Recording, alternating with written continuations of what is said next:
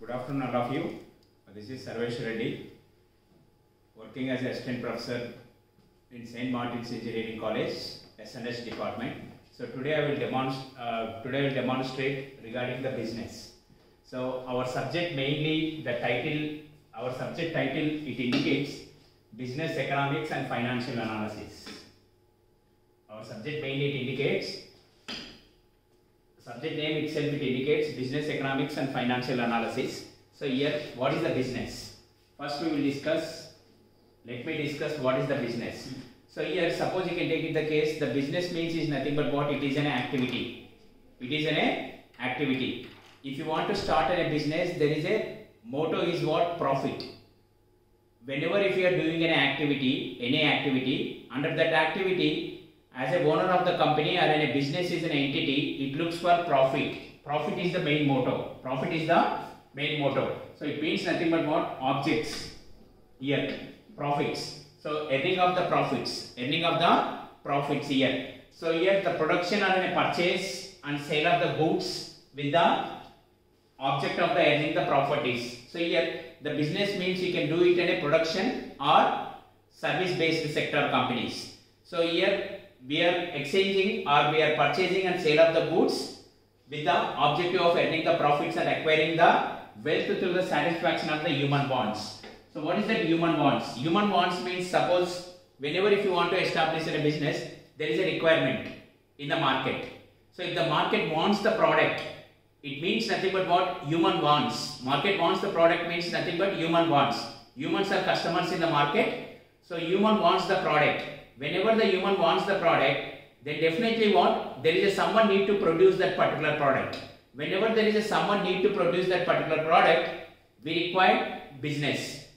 So business means is nothing but what it is in a entity, there is a regular production, regular activity, continuous activity. Continuous activity or production, purchase and sale of the goods with the object of the earning the profits. This is the definition of the business. Next you can go for defining any regular production and objective of the production here.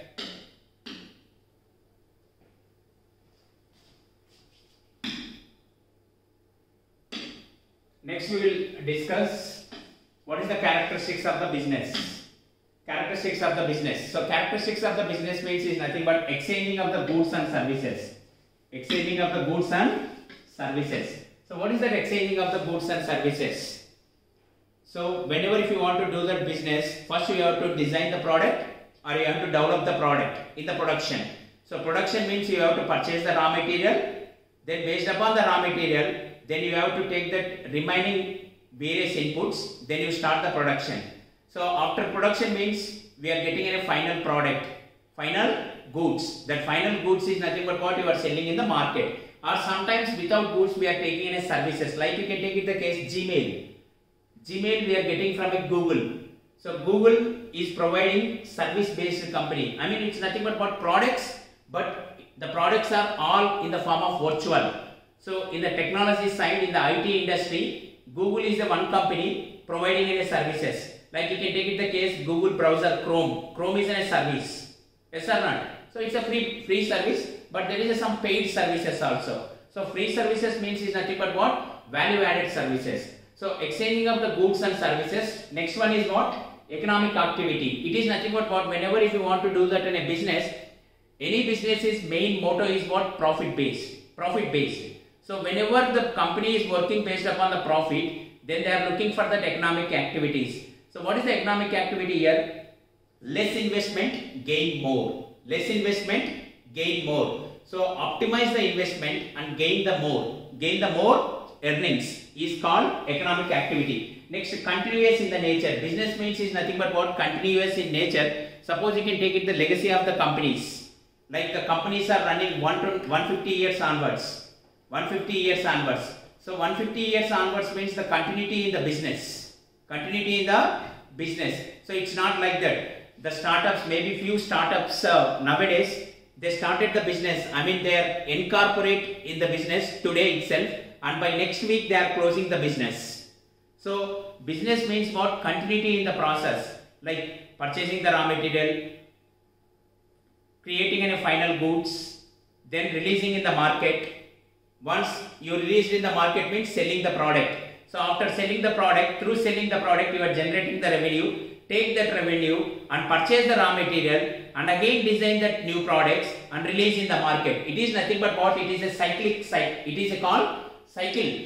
It is a cycle, cycle relationship. So that is the reason we can call it a continuity in the nature, risk and uncertainty. There is a definitely in any business there is a risk and uncertainty also. What is the meaning of uncertainty? Like market conditions. Sometimes the markets not in the uh, continuity. I mean not in the. Uh, I mean always companies not getting any profits. There is some uncertainty. Like there is a outside problems. If any outside there is a problems. Like you can take it the case of any elections is going on, general elections is going on in the country, then definitely there is a market uncertainty is there because the next government is in a favor to a particular industry or not. I mean the next prime minister candidate is a favor to a particular industry or not. He will support for that industry encouragement or not. He will support for the uh, startups or is totally depends upon the uh, imports or is it totally uh, depends upon the exports. So based upon all these criteria, there is uncertainty in the market. Uncertainty in the market. Market is not in the constant always. There is a up and downs. So these also affects to our business. So next one here, consumer satisfaction. This is very very important. Customer need to satisfy. End of the day, customer need to satisfy by using of your product. If the customer is satisfied, then definitely what happen? Your business is in the continuity in the nature. If the customers are not satisfied, one fine day you close your business. So next year you can take it the case production of the goods and services. So whenever if you want to do the business, business means is nothing but what? Production. Maybe service sector or maybe goods. I mean maybe uh, like you can take it the case there is a manufacturing sector. Okay, service sector companies means like you can take it in examples of Amazon, Google. Okay, Amazon is not having Amazon also having some products now, but whenever they establish a company, basically they establish company for service sector only. So like uh, they are collecting that what products from different vendors and they are giving any one common platform. It is nothing but Amazon.com. So the customers through Amazon.com they are purchasing a third party products, not an Amazon products. So it means nothing but what it is a service sector company. Suppose you can take it the case Tatas. Tatas are under service sector as well as product based. What is the meaning of product based? Suppose you can take it the case of the Tata Motors. TCS comes under service sector. TCS comes under service sector. But Tata Motors comes under product based. Like Tata Tea comes under product based. Like there is some other companies service sector like Wipro is also having a both service sector companies as well as production based companies. So next year social responsibility CSR corporate social responsibility. Why? Because they are earning the profits from society, profits from market. Whenever the customers are satisfied, the company is getting the more profits. At the same time, companies concentrate on environment or some. Uh, I mean, they are helping to the people. It means nothing but what company exists in the society, not in the mass. Okay, so that is the reason every company mainly focused on concentrate on CSR, corporate social responsibility is also very very important. CSR, the name itself called CSR, corporate social responsibility. Whenever the company is concentrate on the social responsibility, like there is a uncertainty times country facing, like suppose you can take it the case of Corona. When there is a Corona pandemic is started in India, the great company called Indian legacy company Tata Group Tata Group is participated in the social responsibility, corporate social responsibility of, of more than 70 percentage of their profits they are giving into charitable trusts. Like you can take the case of Tata Sons Charity Trust, like they are established some educational institutions like IISc, Indian Institute of Sciences, Bangalore, Tata Fundamental Research. All these institutions are run by the Tata Group, but the Tata Group is not gaining any profits from these institutions. So they are in the part of social responsibility, corporate social responsibility. One more best example, recently Tata chairman Ratan Tata is uh, donated 1500 crores to the government in this pandemic situation, in this pandemic situation, corona situation. So it comes under corporate social responsibility. Creativity and dynamic. Always company focused on R&D, research and development Research and development is very very important. Every organization is having a separate department called research and development wing. They keep going on concentrate on new products, new innovations is going on. Always creative in the manner. So like versions, versions they release in the market, right? Maybe in that you can take it the case of in the mobile industry, the, the companies are released in the products in the market by adding the new value added value added uh, features. So that value added features are developed in that R&D center. Creativity always in the dynamic in the company. If the technology changed in the outside, companies also change that production technology. And at the same time, if the customer wants some change in the product, then feature the company need to predict what the customer next want, what kind of product the customer want. So they need to predict now itself and concentrate on that in a new product and develop on in R&D center. So that is the reason they mainly focused on research and development. So next, ethical and lawful. Whatever it may be, if you want to do the business, you need to concentrate on these things. Society is important, customer is important, whether ethically you are doing the business or unethically you are doing the business are based upon that government rules and regulations and law is enforced like we have corporate governance and we have that industrial law. And whether we are paying any properly wages or not to the employees all these things comes under ethical and lawful. So we need to focus on these things. Next we can take it the case. Next one the types of the business. There is a two types of the business i mean three types of the businesses. Suppose you can take it the case here. We have uh, private undertaking means it comes under private sector private sector means here we have pvt okay? Pvt means is nothing but what? Private sector. Next we can take it in a case of that public undertaking. Public undertaking means mainly need to focus on public sector companies. Public sector companies. Like you can take it the case of there is a departmental organizations. Under departmental organization it comes under bhel bhel drdo drdo isro isro all this comes under departmental organization. Next you can take it the case of the public sector. So what is the public sector companies? So under public sector companies suppose you can take it the case railway indian railway indian railway indian railway like public sector companies so uh, there is a some partnership under public sector companies like railways or some railways are provide i mean a partnership or maybe it comes under public corporation and there is a governmental companies like if you take the case of the governmental companies means there is a governmental banks SBI SBI is the governmental company yes or not? Even Indian Railways also comes under governmental company but you can say that there is some public corporation. Public corporation means is nothing but even the normal public people also normal people also they can invest the money. So it comes under public sector companies. Limited companies. The best example is limited companies. Limited. Limited. Limited company means nothing but public corporations. Next you can take it the case of the joint sector undertaking. What is that this joint sector undertaking so joint sector undertaking means is nothing but here. You can take it the case pvt private plus public. Private plus public. What is that private plus public? Private plus public means private sector as well as public sector. Like government and private companies.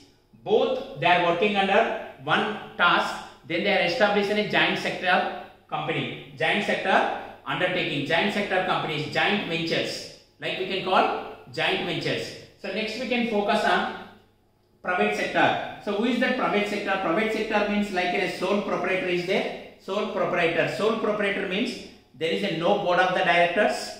Only one person is established the organization and he will do everything all activities. Only one person sole proprietor. He is not not a, i mean no way relationship or no way responsible for any government or like that. He will do his own business so it means nothing but what you only bear the profit i mean you only bear the losses and you only gain the profits you only gain the profits so it means nothing but what only sole proprietorship Next, joint Hindu family companies. Joint Hindu family businesses. Like you can take it the case of Tatas. Tatas. Next, you can take it the case of uh, Wipro. Wipro. Like there is a Birla Group, Aditya Birla Group. Like there is a Reliance Industry. All these are things uh, comes under joint Hindu family businesses. So next, joint stock companies. There is a joint stock companies also. So here you can take the case Infi, Infosys. Infosys. So Infosys also comes under joint stock companies like there is a cooperative societies. What is the meaning of cooperative societies? Cooperative societies are mainly focused on like everyone is an owner in the cooperative society. They will form one society like you can take it in a best example. What is this cooperative society? Best example here Amul. Amul. Amul is the best example. Amul is the best example for cooperative society. What is the full form of the Amul? Anand Milk Unit Limited. Anand Milk Unit Limited. Anand is in a one district in Gujarat. Milk, okay, they are producing in a milk. So, unit limited. So, this Amul comes under cooperative societies. So, like in India, I mean, like in Hyderabad also we have like uh, Telangana Rangareddy Farmers Association. They form that one association and they form, make it in one cooperative society. That society name is what? Telangana Rangareddy uh, District Farmers Association. They are selling their milk by logo of Amul. By logo of Amul. So that is the reason we can call it a cooperative societies. Cooperative societies. Like there is some cooperative society banks also. Like I am taking a best example. Amul is the best example for cooperative societies. So next I will go for uh, individual explanation about what um, types of the businesses already I have explained all these things. So next sole trade proprietorship. So what is that sole trade? Sole trade means is nothing but it is in a simplest and oldest form of the business. So in this case here uh, sole means is nothing but what only one person is the responsible for liabilities. At the same times one the same person is in a I mean he will gain when he gain the profits he can enjoy the profits when the company runs under the losses, you only responsible for the bear the losses. So that is the reason we can call sole, one person. He will, only act everything and he is the take he is the decision maker in entire business. Next you can take it the case such a person introduces his own capital and is not maybe borrows from others based upon some bankers. He will borrow the loan from the bank.